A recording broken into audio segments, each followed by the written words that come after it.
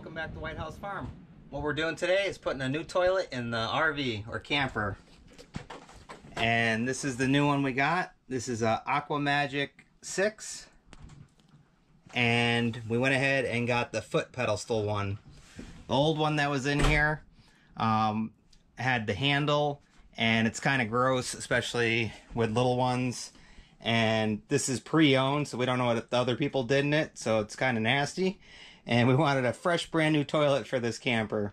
So I already went ahead and disconnected the old one. And this is the old one. And see, there's the handle. So obviously when the toilet heats up, people are splattering and hitting stuff and it's pretty nasty. And now we got a nice fresh clean one. So we could take this one out of here. And they're pretty lightweight. Here it is. And this is usually one of these parts in here. If you don't winterize it correctly, uh, this is where people have a lot of trouble. They get broken and stuff, and then they got to replace them. There's the number on this one.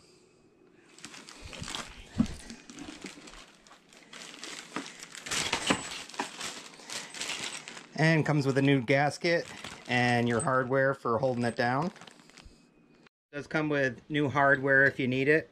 Uh, these aren't rusted out or anything. And they're the same size.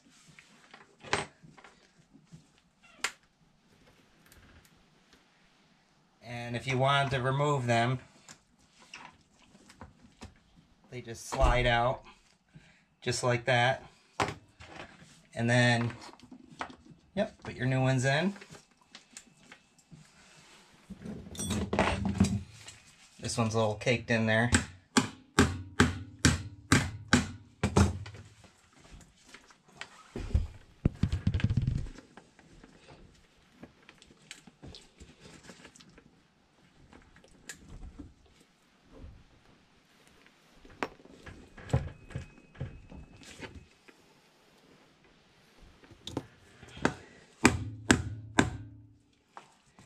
Gotta give it some wax.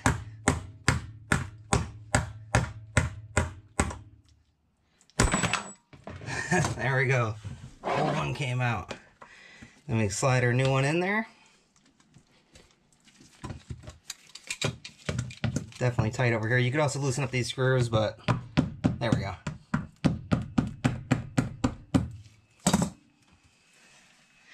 All right, next thing you want to do this gasket. Go ahead and get rid of that. Once we get this on, this piece right here is going to screw into here. And these are movable. So once you get it locked down, um, then you can go ahead and just tighten this right up on there. Really simple. And it comes with a brand new gasket. And if you want, you could even put your gasket on like this and then put it on. You're just going to line up the holes.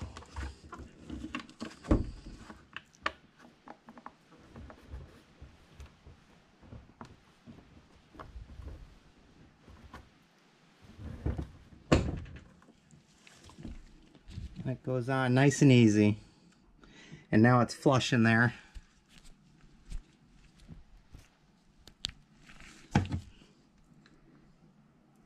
And now we can put our screws or now we can put our nuts on.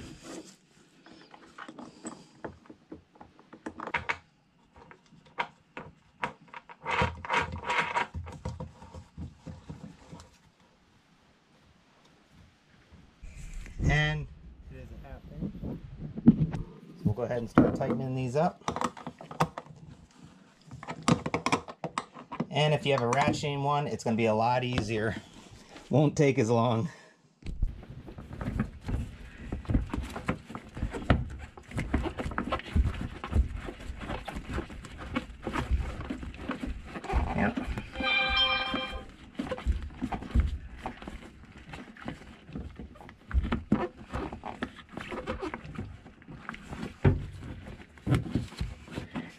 And then this piece comes over here and tightens up.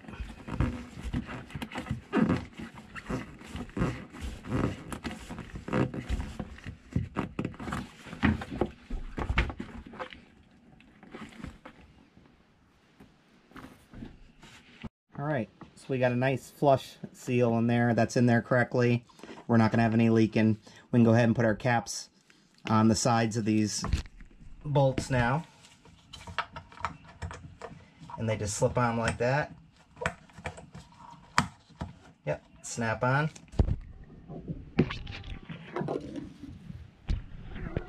And then we got one left here. There we go. All right, so this is the only other tool besides the wrench that you're gonna need, and that's just to loosen up the back if they got them on super tight. But hang on to this. Uh, once you turn the water on, just check, make sure it's not leaking. If so, give it a little tighten. Um, but be careful because it is plastic. You don't want to over tighten these. They don't need to be cranked on, uh, just enough to stop the water. So there we go. Nice new toilet, and you don't need to put your hands on anything. You can use your feet and just press the pump, and that opens it right up. And I'll leave a link in the description if you're looking to pick up one. And now we won't have pee everywhere. Yeah. So quick, simple, and easy. Uh, once again, we hope you like, enjoy, subscribe, check out all of, our, all of our other videos, and we'll see you in the next one. Bye, guys. You can't say goodbye without saying goodbye to me. All right, Olaf. We'll see you on the next one. All right. Bye, Obo. Bye, guys.